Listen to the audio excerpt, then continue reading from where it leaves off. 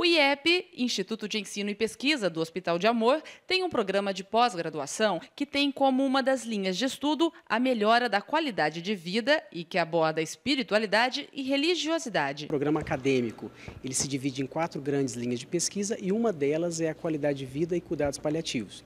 Dentro dessa linha de pesquisa, nós desenvolvemos alguns estudos que focam na espiritualidade e religiosidade do câncer. O departamento já realizou diversos trabalhos. Os estudos apontam a influência da espiritualidade e religiosidade como estratégia de enfrentamento das crises e melhora da qualidade de vida. Maiara é doutoranda do programa de pós-graduação. Em 2015, publicou o artigo Resultado do mestrado orientado pela doutora Bianca Paiva e co-orientado pelo doutor Carlos Eduardo de Camargo que fez uma avaliação sobre a espiritualidade, religiosidade e qualidade de vida dos pacientes com câncer.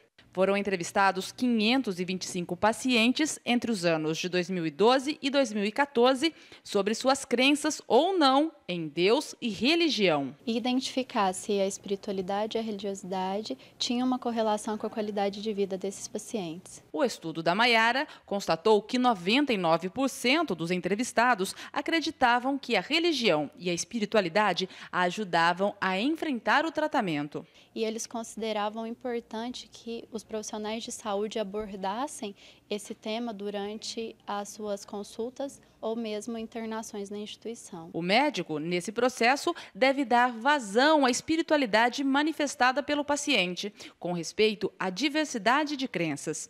Segundo o médico coordenador do programa de pós-graduação, os estudos são necessários tanto para pacientes quanto para os próprios profissionais da saúde. É, quando está tudo dando certo, quando o tratamento vai bem, isso talvez não seja tão significativo para o médico. Mas quando acontece alguma situação difícil, alguma recorrência da doença, uma metástase, ou quando não há mais tratamento a ser realizado, a fé, a religião são estratégias muito importantes de enfrentamento. Cláudia Chiarelli para a Rede Vida de Televisão.